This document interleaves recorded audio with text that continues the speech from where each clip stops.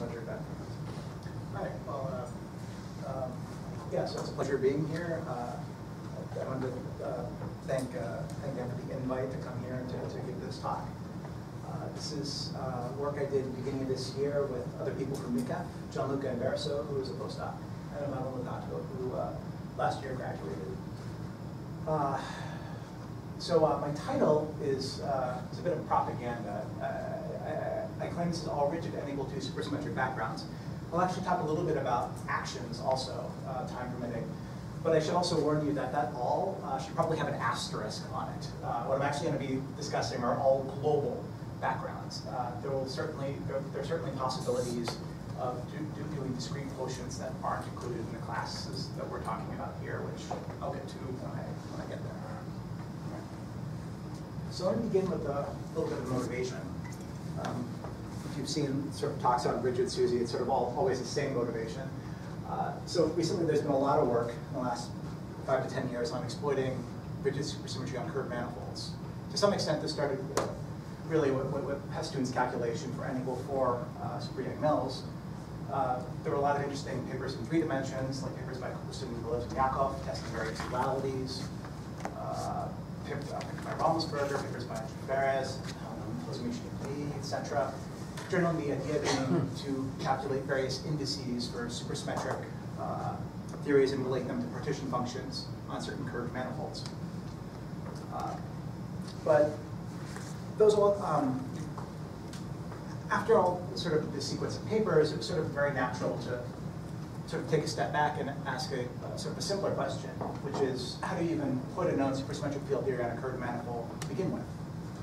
Um, until recently, this was done piecemeal, theory by theory. You can do this, you know, if I, have, for example, an SN, it's in a sense straightforward to figure out all of the inverse uh, radius terms you need to add to your theory, to your supersymmetry transformations, to actually put it on the curved manifold. But how do you do it in general? This was answered, I think, four years ago now by Festuccia and Seiberg, who gave a systematic approach to this, which was to think of, just in a nutshell, to derive rigid supersymmetry from supergravity. And in a few slides, I'll actually review that in a bit more detail. But after they gave a systematic approach, uh, there were sort of a large sequence of papers uh, really hitting this home. So uh, for d n equal 1 with one or more supercharges, I would say has more or less been put to bed. Uh, very nice paper by Dumitrescu, Festuccia, and Seiberg, who looked at all possible Euclidean theories, starting with assuming one supercharge and working their way up to four supercharges, analyzing the possible backgrounds, admitting that those number of supercharges. Uh, there's also a nice paper uh, by Cassani, Klare-Martelli, Tomasiello, and Zaffaroni. Is that classification complete, completed, one to four? I I would actually dispute that their classification is complete. Uh, I would argue that their classification, I believe they looked at, in the first paper they looked at old minimal supergravity, or new minimal supergravity. The next paper they looked at old, uh, old minimal supergravity. I would argue that isn't the complete set of possibilities for n equal 1. I, I would argue that you could also look at 16 plus 16 supergravity, which in principle should, should contain the existing cases as special cases. But for any given set of auxiliary fields, have they uh, completed the uh, not, this number of supercharges being one, two, three, and four? I believe so. Okay. I believe they, um, so they did, they did one, they did two of the same chirality, two of different chiralities, and then four. Okay. Yeah. But I, I will say that uh, if you did 16 plus 16 supergravity, I think there is a possibility of finding something different. Okay, thank you. So there are also papers that dealt with the Lorentzian case. Um, but where I'm coming in, where, where our perspective on this uh, was, was that there hasn't been a lot of work on, on n equal 2, for the n equal 2 theories. And in a sense, you, you think that might be surprising because n equal 2 theories, they have interesting features, they have more SUSY to exploit.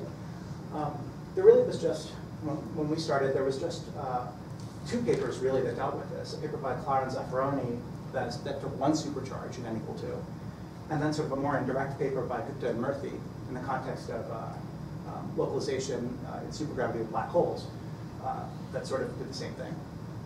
Uh, yeah. Dumb question. How do you tell that if you're just looking at one supercharge, how do you tell the difference? Excellent, wait a slide.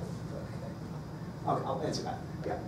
Um, So what we're going to address is the the following questions, maybe two slides.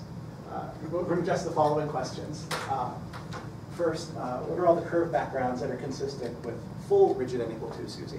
So keeping all eight supercharges for n equal two, sort of the opposite extreme, the more, you know, the most restrictive case you could imagine in the menagerie of n equal two possibilities.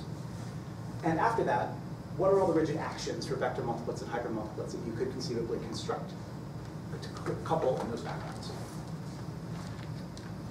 Sorry, I think I asked you this before. Sure. So if my theory happened to have superconformal symmetry as well, that would be in addition to to the ones you're counting. Right, I mean, at the moment, I'm, I'm, yeah, so I mean, for this, I'm, I'm just looking at solutions, I'm gonna basically be looking at solutions, if you wish, so the Poincaré Killing spinor equation. Or to put it another way, I'm looking at the class of, you know, superconformal solutions for which eta vanishes, uh, if you wish. So, um, No, I should, no, let me rephrase that. It's the class of solutions for which eta is proportional to epsilon with certain proportionality constants, which I'll elaborate on uh, in a minute. Um, I'll try to, uh, yeah, I'll come back to that in like five slides. Okay. I can answer your question a bit more. Uh, So this is uh, my outline. Uh, I'm going to start with reminding you something, or reminding uh, about some things, some lessons from rigid soup gravity, bringing in some ideas from superspace. This will actually lead really naturally into a discussion of super coset spaces, which are how we, uh, in terms of which we're actually able to, to classify these spaces. And finally, time permitting, I'll talk a little bit about matter actions that you can put in these backgrounds. So before getting into too much detail, let's just recall what Festuccia and Seiberg did. They proposed that um, a rigid supersymmetry matter action should be thought of as a coupled matter supergravity action, where you freeze the supergravity as a background. This is actually important. The, um, when you're freezing the supergravity as a background, the idea is the metric doesn't obey Einstein's equations. It's just, it's just a metric, it's a frozen metric that you, you plop in what its values are. But what that, that means is the whole multiplet, so the metric is off shell, so the entire multiplet has to be off shell. And so if you're talking about supergravity, that means because it has to be off shell, you have to include the auxiliary fields. And the auxiliary fields aren't obeying their equations of motion, they're going to be taking some frozen value. So they're quite important for the analysis. Um, not just any rigid manifold admits SUSY, it has to obey the Killing spinor equation. So in your supergravity theory, your Killing spinor equation arises by requiring that the variation of the gravitino vanish. That has your standard uh, connect, uh, you know, connection transformation, the derivative of the Killing spinor. And then there are terms involving auxiliary fields, which I'm being very schematic about, but I'll, I'll, I'll talk about in more detail in just a bit. Um, the idea here is the killing spinor is parameterized by some constants, epsilon. And those constants, the number of constants that I have, the number of linearly independent constants, is what I mean by the number of supercharges that I have. So for 4dn equal 2, I'm saying I want 8 supercharges. I want to have 8 linearly independent constants, epsilon, that I can construct c of x out of. In Minkowski, of course, these are the same thing. Are, the auxiliary fields are all zero. I just have derivative of c vanishes. And I have eight of them when you count all the spinor and SU2 indices. In other backgrounds, you might expect something like c of x to be some dressing factor times epsilon. So I want to make two observations about this. Um, the first is, um, well, first observation is sort of an ob obvious observation. It's there in contrast with the second observation. The first observation is, for a given n, I have a given set of auxiliary fields in a given equation. As I increase the number of supercharges that I'm requiring, I get stronger conditions. And that should just be obvious. As I, have, as I say, I have two or three or four, I, I get greater and greater restrictions on my manifold and on what my auxiliary fields can be. But which is perhaps not obvious, is that if I increase n, I'm actually changing this equation itself because I'm changing, I've suppressed it here, but I'm changing the structure of the R symmetry group. Because I'm changing the structure of the R symmetry group, in principle, I'm changing the structure of the auxiliary fields that can appear. So as I increase n, actually it turns out that the, num the structure of the auxiliary fields becomes more complicated. And so what you actually find is that increasing n tends to give you weaker conditions because there's just more freedom. And in fact, what I'm going to show um, during the course of this talk is that if I take eight supercharges for n equal two, I actually have a richer structure than four supercharges for n equal one, which might have been, otherwise, you might have thought that that, that seems completely bonkers. And it's precisely because the auxiliary field structure becomes more complicated. Okay? Does that? Yeah. So again, yeah, I mean, I have to know what this thing looks like to know if it's n equal one or n equal two. But that's, that's a very good question. And you cannot go beyond eight SUSY charges, right, to have zero fields, correct?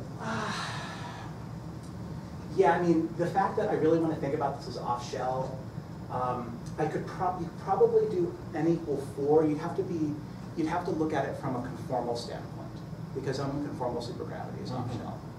I don't want to say that you couldn't do it, but the paradigm would have to be a little bit different.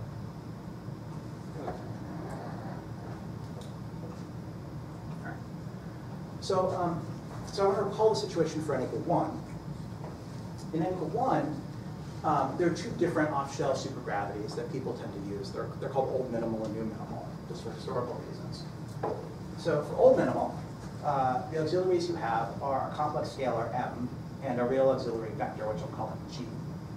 And this is the Killing spinor equation, or this is one half, the left-handed part of the Killing spinor equation which you need to solve. I don't want you to remember that. Um, the structure of this is not terribly important. I just want you to see that both objects are appearing. Um, and there's actually some mix of chiralities when you have this M object turned on.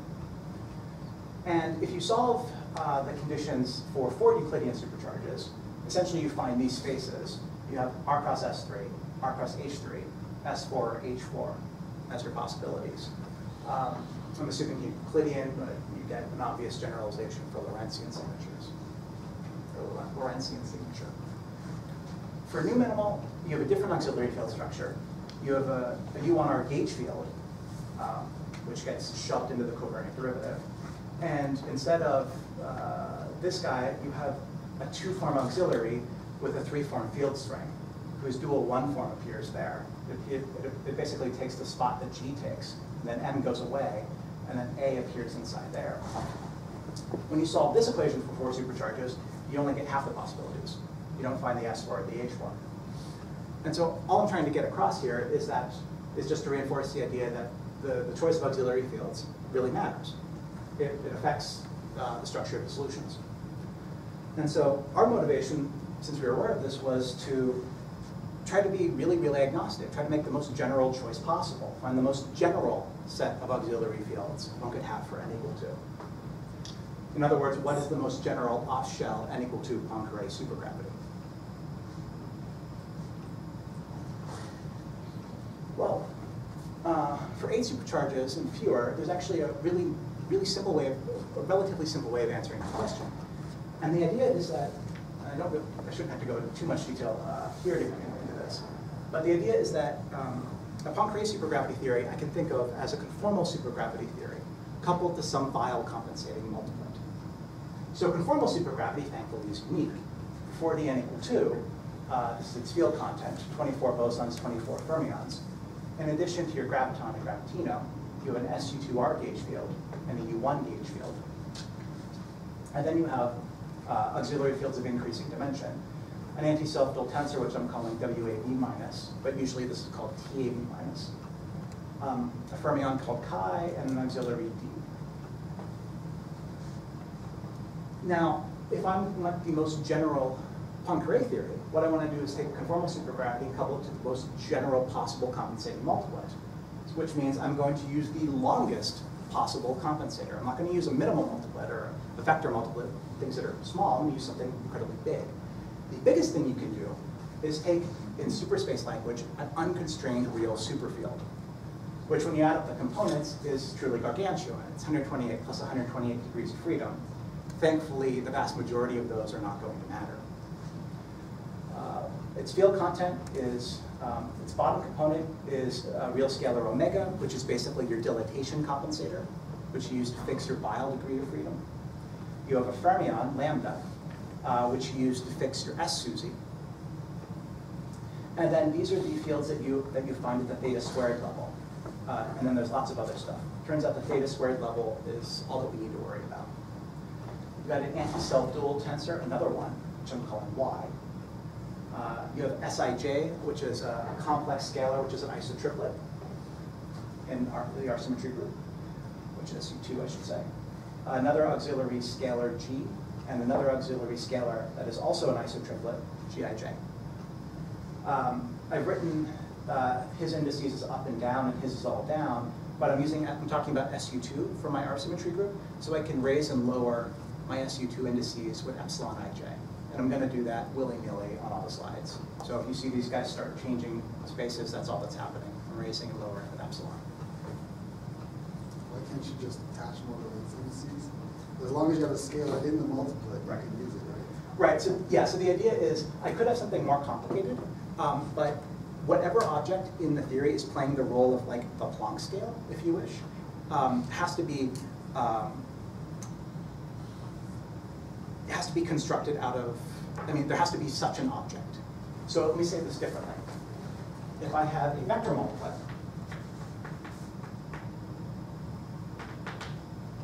for n equal two, its bottom component is usually called x, which is complex. And it transforms under the U1R symmetry. The omega here, in this case, would be something like the absolute value of x. So I would build this general scalar multiplet out of the, the um, sort of the modulus of this guy. And I would forget that there is also the ratio of x to x bar floating around. That could be there, but I don't need, I don't need to worry about it. I can always build this guy. In contrast, if I were talking about a tensor multiplet,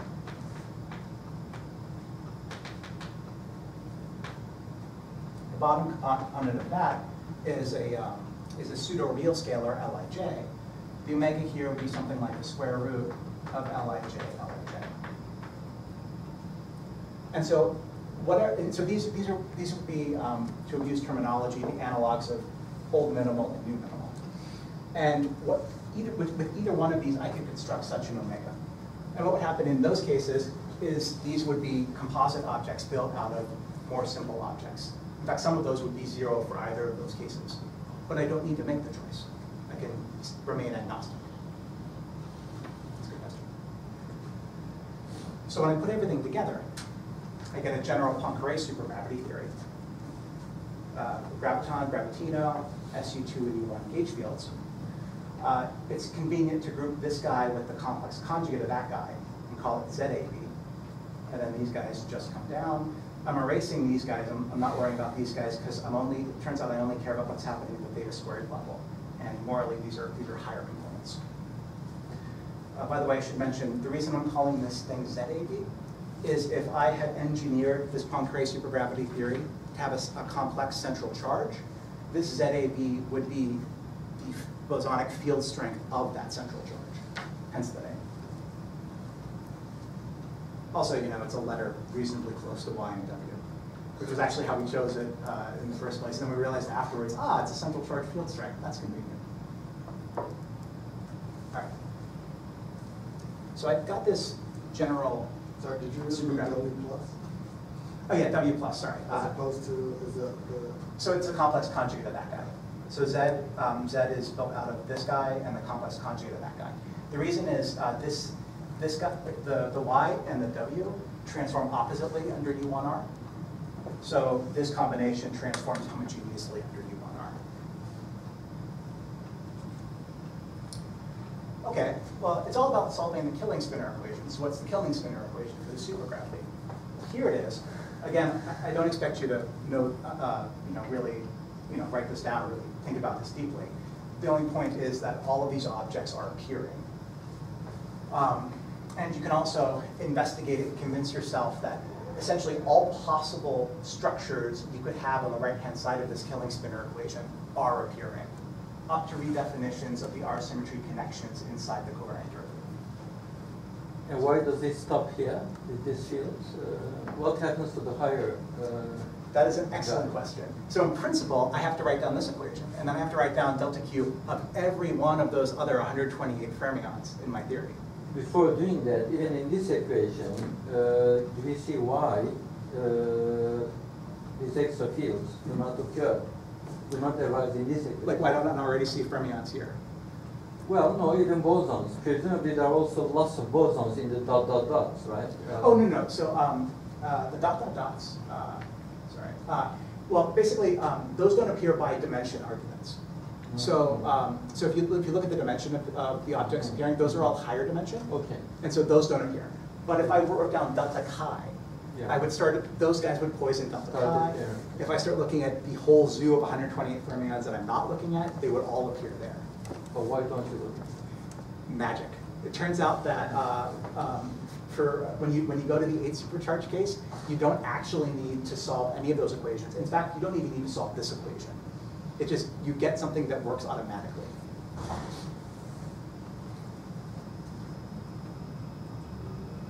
So the easy, it turns out the easiest way of seeing this is actually to go to superspace.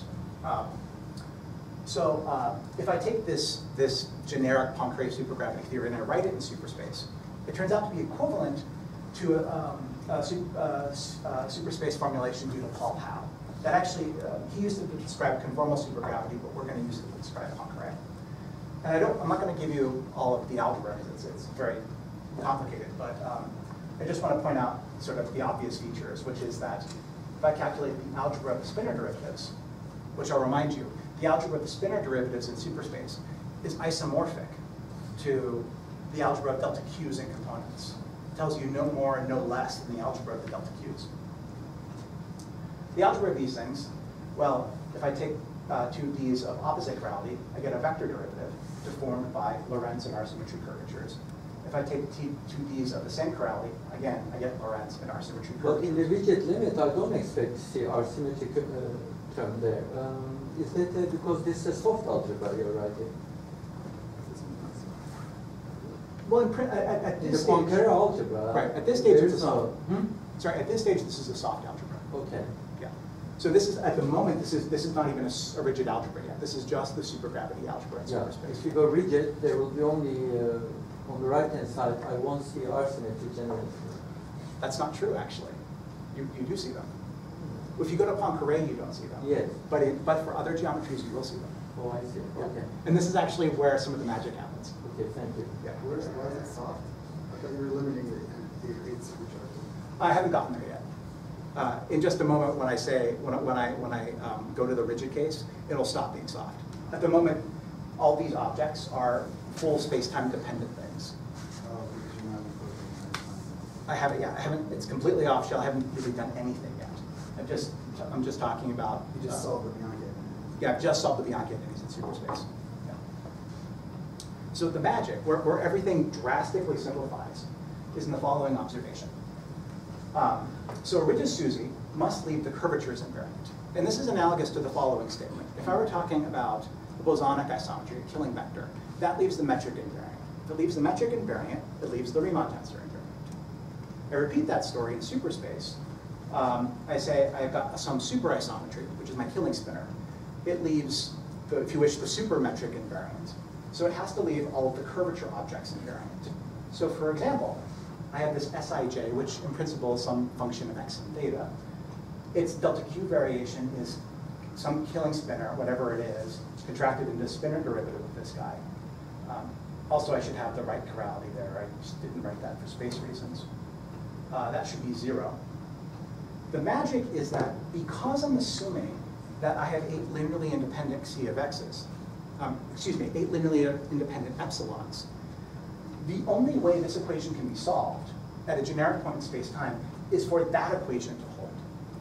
So because I've got eight of these guys, I have to be able to strip them off because of linear independence. Now all of a sudden, you can do a lot because if that equation holds, that equation holds. If that equation holds, all of a sudden you get integrability conditions because you know what these are. These are this this anti-commutator involves a lot of curvatures. Just get curvatures acting on various things must vanish. So you get a number of algebraic equations. In fact, you also get a differential equation. If I choose two d's of the opposite chirality, you get a vector derivative of something vanishing. And so the integrability conditions actually tell you that curvatures are actually covariantly constant. But for this argument, you must have maximum number of SUSY. Yes, so this is special. This is special for four for n equal one and eight for n equal two. The minute I start doing anything else, this does not work. Even a single subsymmetry wouldn't work. Yeah, wouldn't work. Yeah, so this is why this works. This is, this is why you get a drastic simplification. But why can't you restrict to harmonic C's and then get, get some, something that sort of partially works? I mean, it seems like you would be, if you did half, you would be doing something that's sort of like, uh, BPS-like. You get half of the D's are integrable on this, on this condition. Possibly, it's just, the, it's not, it's not obvious how, like, so in general, it's not even obvious how the C's decompose, like how the pieces have to, have to mix. Maybe I can Um, ask the question differently. Why is it obvious that if you drop the condition of n equal eight SUSY, drop down n equal one, why is it clear that doesn't work? Um, Basically because, I mean, so the idea is that this is, this is some x-dependent matrix. I mean, so if I write it, let me write it another way. So what this equation really is, this is, let me write it schematically like this. C, let me write this as C transpose. C is some dressing factor times epsilon. And so really what this equation is, is epsilon transpose some dressing factor and the idea is, this is eight of them, but I assume I've got all eight of them. And so I can do that, and then I can do that, and then I'm done. That's the idea. Okay. And I should mention this, um, I think this was first noticed in Superspace by Sergei Kuzenko a few years ago. And then, then he then exploited it with um, Joseph Novak and Gabriele Tartaglino Mazzucchelli in five dimensions last year. Okay. So, um, what can you do with this? Well, um, you have the you have the, this this algebra that I gave you at the, the, the spinor spinor level. You can actually just crank through and work out the entire Riemann tensor by, by solving the superspace Bianchi identities. And here it is. Uh, it's, it's bilinears in all of these objects. Um, that's, I mean, again, I don't need to remember the details of this, except to remember it's bilinears in all the objects. So in principle, you have the curvature tensor. Um, you have a bunch of conditions which I haven't yet told you. Algebraic conditions telling you certain of these objects can be turned on when certain other objects are turned off. I'll get, I'll get to that in more detail later. But we're not, we're not quite done yet. I mean, because, I mean, you know what the Riemann tensor looks like, but you still want to figure out what, what is the space that gives me a Riemann tensor that looks like this? What, what spaces am I talking about?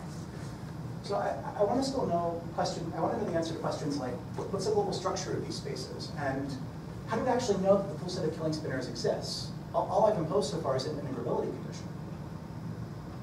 And this is this is actually this is what happens. This is this is why we can actually get a lot of mileage very very quickly. And the idea, the basic idea is that because we have constant curvature tensors, we're dealing with coset space. In fact, we're dealing with a super coset space well, more accurately, what I should say is, for any superspace algebra that has constant curvatures, I can construct, or one can construct, a global super coset space with those same curvatures. And so this is the, the, uh, the fine print that I talked about on the first slide. Um, I, can, I can exhibit a global super coset space with the same algebra. It's possible that there are spaces that I could construct with discrete quotients uh, that I won't be talking about. I'm just going to be dealing with the global spaces.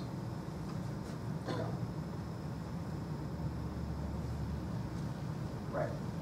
So super coset spaces. Well, perhaps I should actually um, just remind you what a coset space actually is. A super coset space is really no different. You just pepper the word super in front of everything without the say. So just a quick review.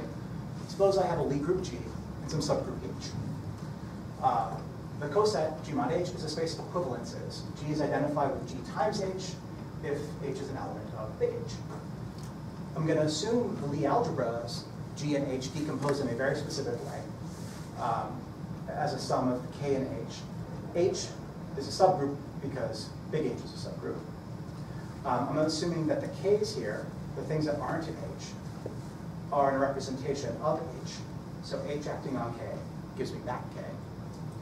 And the algebra of whatever's left over that isn't an H, the algebra of K with K, is just whatever it is. Uh, I make no restrictions on that. schematically, the coset is generated by the Ks.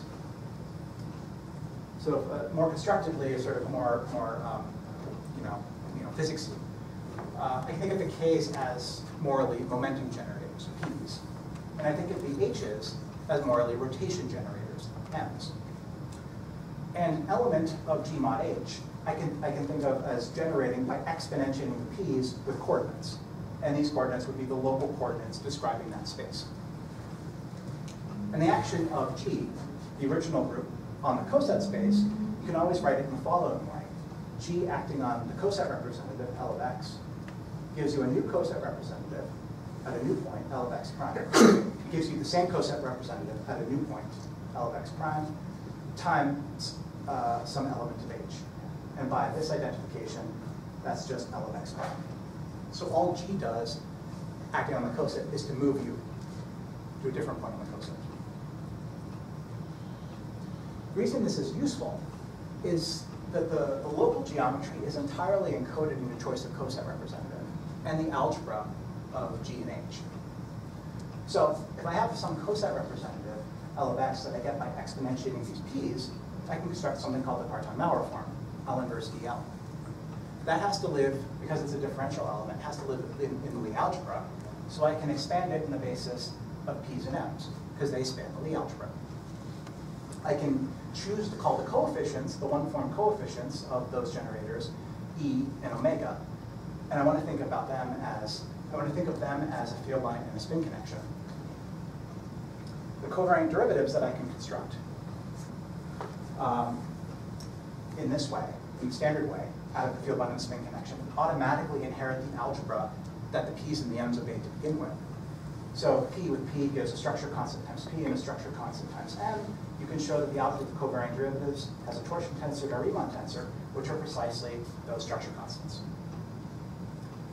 And finally, uh, things that are maybe quite difficult to calculate, given a generic uh, uh, vielbein and spin connection. For example, finding killing vectors that obey that condition turn out to be encoded algebraically in the structure. So if I take a generic element of the Lie algebra um, with constant epsilon and constant lambda, and conjugate it by L, I can read off uh, something also valued in Lie algebra, where the object in front of the P is precisely the killing vector. And this is just an algebraic problem. You find that C of x is given by some dressing factor times that epsilon, and some dressing factor times that lambda. Now, everything I've just said, absolutely nothing changes if I just put the word super in front of everything. So let me just show you how this works, you know, schematically for a super coset.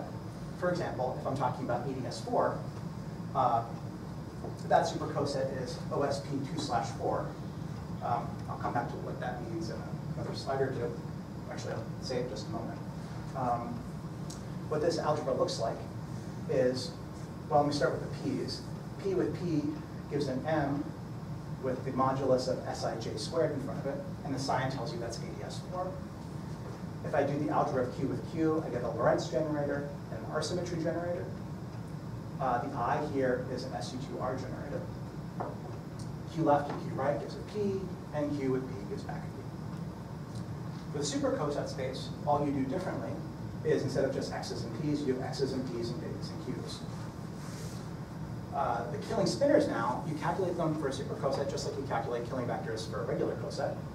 You sandwich um, some constant element in the odd part of the super Lie algebra between two L's and you do some, do some you know, matrix manipulations, some algebra, and you read off xc of x. And that's precisely some dressing factor times these constant epsilons. And that's exactly the killing spinors. And you're done. So we've turned a problem in, uh, in differential geometry, solving the killing spinor equation, to, if you wish, a problem of algebra, or more honestly, a problem for Mathematica. So what are the allowed spaces? Well, let me just remind you, these are the constant background fields that we had. Sij, uh, which was complex, Z, which was complex, and two real guys, G and Gij. A couple comments about these. Z uh, is a complex field strength once you analyze the integrability conditions, which means it's closed. I mentioned this earlier, if we called it Z in part because if you had a complex central charge, Z would be the field strength associated with that central charge. And just an interesting comment, this G turns out to have a nice interpretation as the dual of some three-form field strength H, which makes a lot of sense because uh, in one of, in one of the simpler versions of Poincare supergravity, you could have had a tensor multiplet. Is this spectrum related to all the bilinears and algebraic guys that you just talked about? Uh,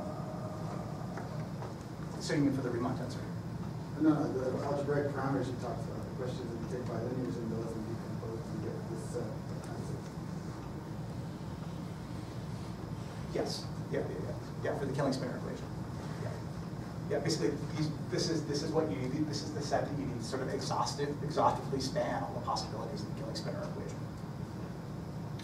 What happened to the other equations for other fermions? Uh, Right. I heard the integrability argument, but Right. it, it didn't clearly tell me, do I have to consider only the Gravitino transformation Right. and no other fermion, or some fermion? So the answer is, Hmm. if you notice, I didn't even say anything about the Gravitino transformation. So the reason the Gravitino holds is because it's super super coset space, you can go through and you can show that um, that equation for the Gravitino to vanish is precisely the, the equation that the Killing spinor obeys when you construct it from the super coset. Similarly, your other fermions, other fermions might be constructed by, um, your other fermions are all going to be covariant fermions. So they're going to be things constructed by taking spinor derivatives of things like S. So the lowest component of this is going to be some fermion rho alpha, Kij. But the condition for this to be supersymmetric is basically the condition that if I hit it with another spinor derivative and take the lowest component, I get zero. But that's an equation in a sense that, uh, whose integrability condition I've already solved. And then when you go through the super coset construction, it turns out to be solved automatically. Now, um, we didn't check this explicitly. To check this explicitly, you need to construct the whole coset representative in terms of x and theta. But it's guaranteed that it has to happen. So we just basically truncated the theta equals zero because we just cared about the killing spinors on space-time. But in principle, you could actually see this explicitly by constructing this guy as a function of x and theta. That's it. Actually, here, uh, what I said is slightly wrong. This guy is actually a constant. This guy isn't a constant because all the connections in him. So you, you find this guy built out of the x and theta dependent connections, hit it with another derivative, and you would find it was, it was zero, guaranteed by the coset structure. So we end up with three sets of integrability conditions, or three sets of solutions to our integrability conditions. They basically break down into three options. Pretty simple options, actually. The First one is you just have Sij turned on. That's actually there to give you, in Lorentzian's signature, that gives you ADS4, just a. Um, I'll say that in a little bit more detail. Um, another option is other isotriplet is turned on. Gij alone is non-zero. And he has to decompose as a product of a vector and an isovector. And third option, which is the most interesting option, is the one where you can have these guys turned on. You can have one of them turned on, the other one turned on, or both turned on. If they're, and both turned are turned on, you have a certain transversality condition which has to be obeyed. I should also mention that, um, just in passing, that these background fields determine the R symmetry in, this, uh, in, in actually two different ways.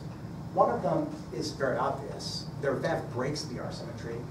Uh, so for example, the isotriplets, Gij and Sij, they clearly break SU2 when they take a VEV. In fact, they're going to, because you can think about them as a vector in SO3, what they're doing is breaking SU2 to SO2. Uh, also, Z and S are complex. They rotate under the U1 R symmetry. So if they're turned on, they break the U1 R symmetry. So that's the one obvious way that these things affect R symmetry. The less obvious way is that they appear, um, they appear multiplying internal R symmetry automorphisms of the SUSY algebra. So not only do uh, when these things are, not only do these things break your external group of automorphisms that you could imagine having, but they also, uh, if some of these things are turned on, they actually generate R symmetry in the SUSY algebra itself. So if S is turned on, it generates uh, an, SU, an SO2 subgroup of SU2 in, in the SUSY algebra. You generate that as part of the SUSY algebra. If Z is turned on, all of the SU2 is generated in the SUSY algebra. If G is turned on, all of the SU2 appears in the SUSY algebra. If GIJ is turned on, you, this Blackboard A is the U1R sub, or this is the U1R. Um, the U1R is generated as well. So two different ways. This is the somewhat non-trivial one. So let me just describe what you actually end up with. So let me first just describe the geometries. Uh, so these are going to be the simplest cases. This is the case where I only have one of these fields turned on. I'm going to deal with the mixed case on the, uh, in a slide or two. So the case where I just have one of these fields turned on, you get relatively simple things. ADS4, okay. Oh, I should mention this is Lorentzian. Uh, ADS4, you know, obviously you had to have that. Uh, you get R cross S3, where R is in the time direction. You get ADS3 cross R, where R is in the spatial direction. They could also be, those R's could be compact S1s if you wanted. You also get a plane wave object, which is related to. You get two copies of those for reasons I'll get to shortly. And then another option that you have is ADS2 cross S2, where these two have different radii. And then versions where you take the radius to infinity, flattening either the ADS2 or the S2. And then a plane version. And I didn't write Minkowski on the board because, of course, that's obvious. So what's, how, how do we get ADS4? Well, ADS4 comes from when Sij is turned on. That involves a supergroup OSP2 slash 4. I should mention, if you've never seen this notation before, that um, what OSP2 slash 4 is, if I just look at the bosonic part of this group, uh, it is um, SP4, roughly speaking, times SO2. Um, this is the this is for ADS4. This is the R symmetry in this case. SP4 is the same thing as uh, SO5, which is the same thing as um, uh, well, to a, phys to physicists, approximately the same thing as SO3 comma 2. So, I mean, there probably should be a star there. Um, but this is the space-time group, and this is the R symmetry group. That's the bosonic part of OSP2 slash 4. Daniel? Yes. Um, so you don't get um, like uh, Euclidean versions of ADS? You do.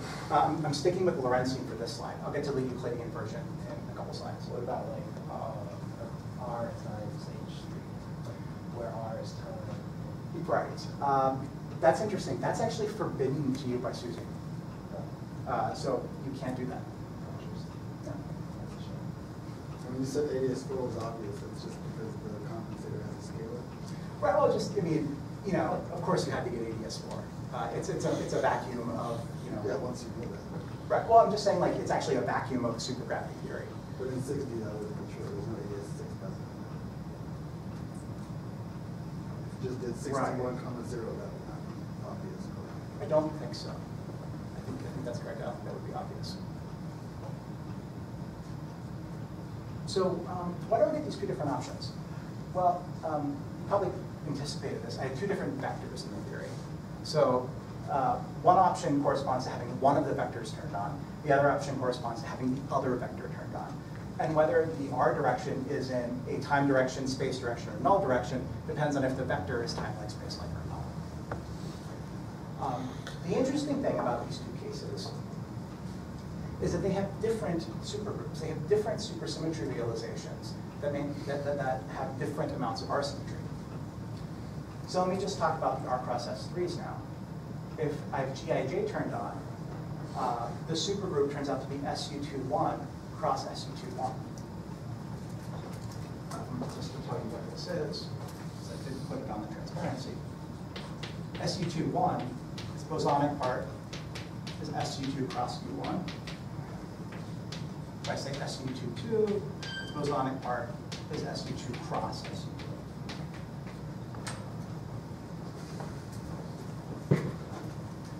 So I- I have different uh, representations of supersymmetry. Here, the supercharges are split. Half of them live in this supergroup, half of them live in this supergroup. In this case, all of the supercharges live here, and none of them live here. And that will have ramifications uh, in just a moment. So, Oh, sorry. Uh, So this is a supergroup and this is a supergroup. This is a supergroup, but this is not a supergroup. This is a regular group. So in this case, all of the supercharges live here. In this case, all of this- the supercharges are split between them. And this is, this is, for, for group theoretic reasons, which- I'll get to in a few slides, that's actually why you can actually deform this case. Because it turns out you can deform this case, but preserving the the, the supercharges because you can, you can kill that guy. Whereas here, because the supercharges live in both places, you can't quite. But, um, and the fact that G is a non-trivial Lorentz structure is saying you should take the ars, that the isometry group is this diagonal of the bosonic parts. Yes.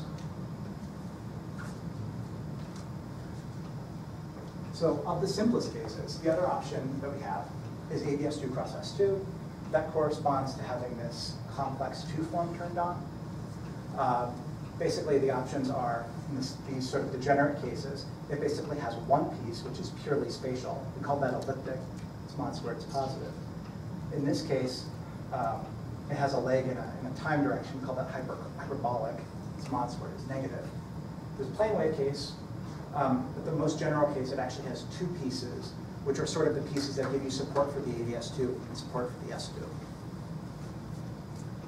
The supergroups in those cases, this one turns out to be a very nice supergroup called D21 alpha, uh, which has some you know, fun properties. Uh, these are degenerate cases of that.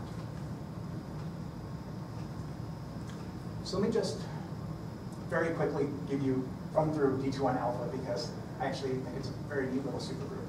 Um, just some historical observations. Uh, there is a non-trivial spherically symmetric solution of n equal 2 gauge supergravity, which is ADS2 cross S2 of equal radii. So it's a solution of an actual supergravity theory. Uh, that's a special case of D21 alpha. Um, the eight supercharges there give this supergroup SU11 slash 2. This actually describes the near horizon geometry of an extremal BPS Reissner-Nordström black hole. And there's a whole story related to the attractor mechanism, which I'm not going to get into. This can be generalized. You can think of D21 alpha as generalizing this to different radii. The alpha in D21 alpha is the ratio of the radii. So it's a one parameter supergroup. The interesting thing is these are not supergravity solutions. So these rigid backgrounds, this one in particular, this cannot be found as a vacuum solution of any four-dimensional theory. And you can actually, you can actually uh, argue this with, with, with, with very weak assumptions. Even if you couple matter, Even if you couple it to matter. So the, the, the precise statement is the following. Take conform, any 4D n equal to conformal supergravity, couple, couple it to arbitrary two derivative actions of vectors and hypermultiplets. Uh, um, when you look at the allowed fully supersymmetric solutions, you have Minkowski, ADS4, ADS2 cross S2 of equal radii, and I think the plane wave version of ADS2 cross S2. That's all you have. Now, that's not necessarily a problem because we're just looking at rigid geometries here.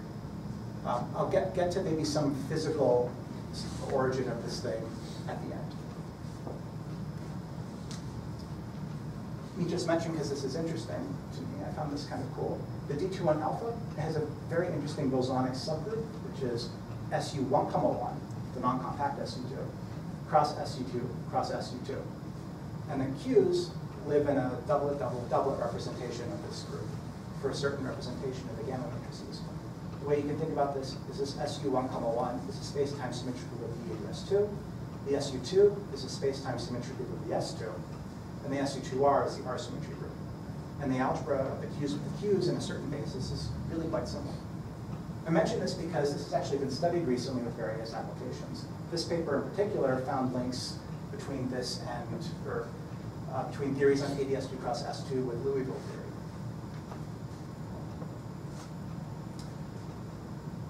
So why, what's so important about having these uh, multiple versions of some of these cases? In particular, what about the R cross S3? Um, I mentioned this already, but here, I'll- let me say this in a little bit more detail. The R cross S3 is interesting because we had these two different realizations of it. With this guy turned on, this was a supergroup. With this guy turned on, this was a supergroup. Suppose you want to squash this thing in some way. Suppose you want to squash the S3. Um, the reason I have an SU2 and an SU2 and an SU2 and an SU2, the reason there are all these SU2s floating around is that the spacetime group of the spacetime symmetry group of an S3 is SO4, and SO4 is SU2 cross SU2. If I squash the S3, I have to break the spacetime symmetry groups. And so schematically, what I would want to do is if I squash it, I want to break some amount of these groups somehow. But it's, it's sort of, I mean, after the fact, we've noticed this. It's, it's sort of easy to see here that this is a really small supergroup. There's no way to squash part, either that SU2 or that SU2 without breaking the supergroup because there, there are super, there, there are fermionic charges in that group. So there's just no way to squash this. There's no way to deform this and preserve the SUSY. Whereas for this case, schematically, it's quite easy to see that squashing this just kills the other SU2 factor. And you can preserve that supergroup. It's slightly more complicated than that, but that, that's morally what's, what's happening. I can take the background with this guy, where, where the G is sourcing um, the R plus S3. I can turn on a Z and, and squash the S3, preserving all eight supercharges. Geometrically, what's happening is you're turning the ZAB uh, on along the S3. And if you think of the S3 as an S1 fibered over an S2, what you're doing is you're squashing the S1 fiber. So this, this breaks SU2 cross SU2, the, the, um, the space-time group, to SU2 cross U1. And for whatever reason, SUSY dictates that you're only allowed to do a squashing. This parameter here. So this is the um, this is the metric on the S2. This is the um, the fibering of S1 on the S uh, over the S2. This parameter here in front of the fiber has to be between zero and one. Turns out to be built out of the VABs of ZBG. Did you say you keep you one? Say again. Did you say you can keep you one? Right. So what happens is. Um, Where where do you go? Uh, I, I'm, I'm being very, very schematic here. Uh, there actually, there's a, there's a, what happened, so in principle, there's also a U1 here that gets kept, but then you end up dividing out by different H's in this case, in this case. So probably I should say there's a cross U1 there. Um, It's just, it's, it's, the, the identification is a little bit tricky because the H groups are different in both cases. Excuse me, Yeah. why was, why is the squash word not listed in your, in your table? Could you repeat? Why is the squash word not listed in your previous table? You have a table of all equal to two. Oh, sorry, that that was, sorry, that was, those were the simplest cases. Uh-huh. So I'm about to show you the complete, the rest of the set. So this is the, this is the interesting stuff. Oh, let me skip that. Um, Get to the fun stuff. This is, this is actually, what for us was the interesting stuff. So I turn on both of these things. I've already mentioned that if G was time-like, and I turn on Z, um, I can get a squashed S3. Of course, for the, for when G is space-like and you have an ADS3 cross R, you can also repeat the story. It's actually a good deal, deal more complicated here. In this case, it turns out the only option, because of the transversality condition between G and Z, Z had to be purely spatial. So there's only one option. Because G is space-like here, Z can be spatial, or it could have a leg in a time direction, or it could have a leg in a null direction. And when it has a leg in, when, when it's purely spatial, it actually can be, uh, can be a little bit turned on, or it could be a lot turned on, or it could be at some critical value. And these give you a lot, of, these give you several different options. These three cases are basically, morally, if you want, Wick rotations, double Wick rotations in this case.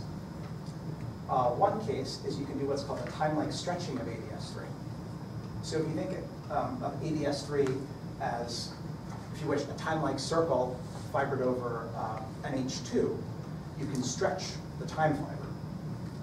Uh, you can do something called a space-like squashing of ADS3. If you think about it as, um, I guess, an H1 fibered over an ADS2, you can squash the H1 fiber. Um, there's another version that you can call, that's called null warp or light-like warp ADS3 that you can produce. This option is interesting. It's, uh, It's a warped Lorentzian S3 times R. So what a, what a Lorentzian S3 is, is you start with something which topologically looks like an S3. You write it as an S1 fibered over an S2, and then you flip the sign in front of the S1 fiber. And this gives you a Lorentzian metric. I don't know if this is important, but we, we discovered this actually, if you take the Taub-Nut, uh, if you take Taub-Nut in um, Lorentzian signature, and you look at it at a constant radial slicing, it's precisely a Lorentzian S3. It's actually what we learned about that from a very beautiful pa- paper from Misner in 1963. And there's some other interesting cases. This, this critical case gives you Heisenberg group. Um, this case here, which G is null, gives you something that we call a light-like S3. And then we also have some plane wave geometries, which we didn't analyze in much detail. We mentioned Euclidean backgrounds. So um, I was, that was all Lorentzian signature, and you can imagine Lorentzian signature is quite is a bit more complicated because you have different directions things can point in. Um, Euclidean signature, in comparison, is much easier, uh, except there's some fine print about what you actually mean by Euclidean. So one thing you could mean by Euclidean is something that could arise by Wick rotating a Lorentzian case, or to put it uh, sort of, uh, sort of in, in uh, sort of more correct terminology, uh, something which uh, obeys reflection positivity, which is basically the same thing. So we didn't worry, to, we didn't actually look at the ones that arise, but that are reflection positive, because morally, those should just all be Wick rotations, everything I just told you. Instead, what we did is um, we assumed that we were dealing with a real Euclidean theory, meaning we had supercharges that had to go into other supercharges under complex conjugation. Usually, um, an honest Euclidean theory that you get by Wick rotating doesn't have to obey, uh, doesn't have to be real under complex conjugation. So we said, okay, let's assume reality under complex case, complex conjugation, and tell us uh, what that gives. Which time do we have? like four minutes, or no, we started late. Yeah, we started a little. Well, let me, let me wrap up this slide and then go to my conclusions. I'll, I'll skip over the actions bit. Um, So, um, what the important story about about Euclidean signature is that your, your spinors, um, if you choose them to be real, the most you can do is impose sim- symplectic Majorana-Weyl reality conditions on them. Meaning your left-handed spinors have to conjugate into themselves, and the right-handed spinners have to conjugate into themselves. And so in particular, that means your left-handed and right-handed supercharges are independent of each other. So these complex fields, S and S bar, now I'm calling them S and S tilde, they're independent because one of them has to do with the left-handed supercharges, the other one has to do with the right-handed supercharges. And similarly for Z and Z tilde. So um, that comment really has to do with this last case. If I go through all these cases, you see nothing that should surprise you based on what I said in Lorentzian. Instead of ADS4, um, you find that I can have both S4 and H4. Let me emphasize, the reason there's an S4 here, Wick rotation should have only given me the H4. The reason the S4 is there is because I'm not assuming that this theory came from Wick rotation. I just imposed reality on the superchargers. That allows both an S4 and an H4. For G and GA, one of them can give me an H3, the other one can give me an S3, and that's it. You can't have the converse. The G case can be squashed in various ways or deformed in various ways. And the case where the Z's turned on can be just H2 cross S2. We do not see S2 cross S2 or H2 cross H2. And that's again just imposed by the structure of the algebra and the way you impose the reality conditions. Where this comment is relevant is that you can also do something funny where you have S tilde turned off and Z tilde turned off, and you just have Z and S turned on. Remember the Riemann tensor that I showed you way, way back ago, was bilinear in these objects. In this case, the Riemann tensor vanishes. So this is flat space. But the SUSY algebra isn't the SUSY algebra of flat space. In this case, the left-handed SUSY algebra is deformed in some way. Um, This has actually been noticed before. One, one of the cases in here is precisely the full SUSY limit of the omega background. In the omega background, you have two parameters. If you choose them to be equal to each other, or opposite each other, I forget the conventions, um, you just, all you do is you get flat space back, but with a, with a deformed left-handed SUSY algebra. But uh, there are other possibilities, Okay, so I'm skipping over matter actions. Uh, me jump right to the end. So conclusions, open questions. So we have found all, again, global rigid equal two spaces, and we constructed general rigid actions for vectors and hypers, which I skipped over. So there are some gaps and some unanswered questions. The first, which I mentioned, was that we assume global manifolds. I assume these were global super coset spaces. But there are a lot, there, it's clear that you can make discrete quotients. Really obvious one, um, that was pointed out by my, uh, by, by Gianluca's team, was that if you have this R cross S3, um, you can actually check that the Killing spinors are independent of the R direction. So you can quotient, you can assume the R is an S1 and then quotient along it. And that just, just gonna, um, oh no, no, no, sorry, I said that backwards. You write the S3 as an S1, sorry, you write the S3 as an S1 fiber over an S2. You find out that the killing spinors are independent of the S1 fiber. So you can quotient along the S1. And that just gives you a lens space. But there are other cases you could imagine. Um, and we're, we're looking at that now, trying to see if we can exhaustively explain them all. Um, another, case, another point, which we talked about a little bit, is that um, not all of these arise from 4D supergravity plus normal matter. I think um, this is probably the most complete reference that, that, that, deals with this. If you take the most general 4D supergravity plus matter that you can think of that's allowed in four dimensions, you don't get all of these backgrounds. So that doesn't mean these are unphysical. Um, it was pointed out to us by uh, Dima Sorokin that this D2N alpha case with ADS2 cross S2 with different radii, you could imagine getting it from some 6D theory on ADS2 cross S2 cross S2, and maybe compactifying along one of the S2s. You could imagine generating this geometry that way. So from the four-dimensional perspective, this would have exotic matter. It would have matter that transforms under the central charge associated with the hidden directions that you're not seeing. So that's why it's not contained within that classification. Um, many of these spaces that we talked about had trivial R factors, and so it's completely obvious you can just reduce to four dimensions, or reduce to three dimensions, three-dimensional Euclidean or three-dimensional Lorentzian. And in so doing, you would get a 3D n equal 4 set of spaces. Uh, there are almost certainly other 3D n equal 4 spaces than just those.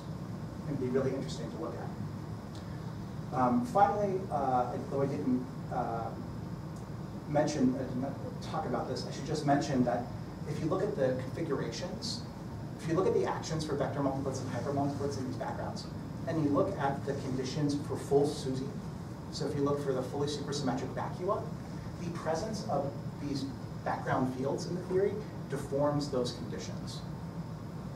So uh, sort of the vacua configurations of 4D n equal 2 theories on these rigid spaces are different from what they are in Minkowski, at least a little bit. And so it'd be interesting to think about how that modifies, you know, sort of simple questions about quantum field theory. If you try to do, uh, for example, like a Seiberg-Witten analysis, perhaps on some of these spaces, how would that look different? So I guess question gives the answer for S4, right? Right, right. So, yeah, I mean, so like, yeah, thinking about that. I mean, like, is it, is it just trivial or, yeah, I, it would be really interesting to sort of know that for sure for the other cases. Yeah. Right, thank you.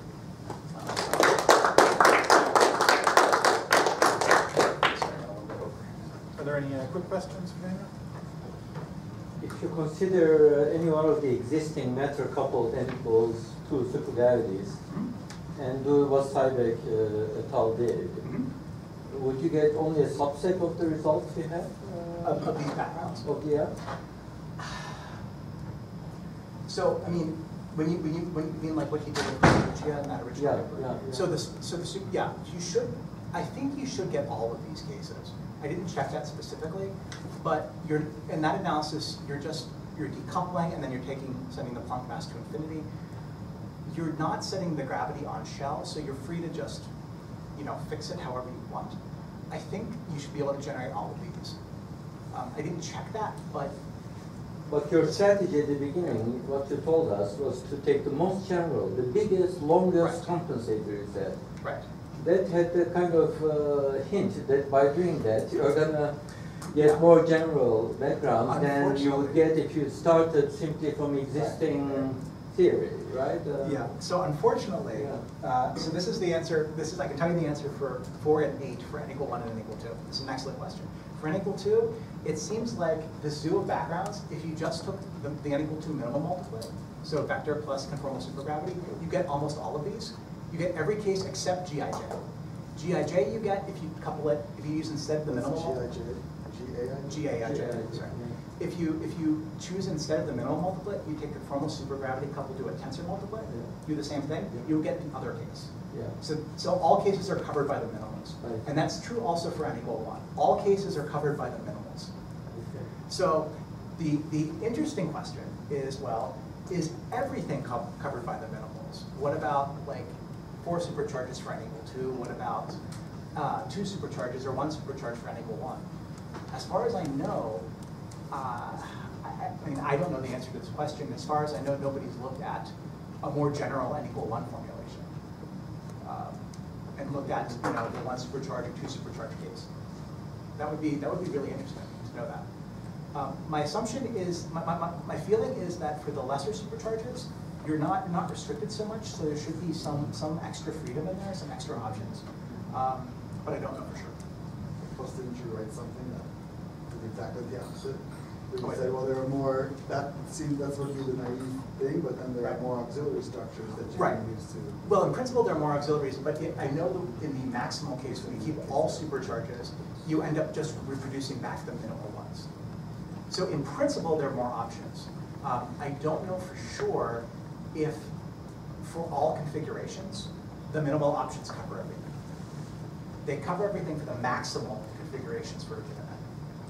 But the maximal case is very simple because everything just reduces to a coset space and everything is super tractable. Now, what do we think those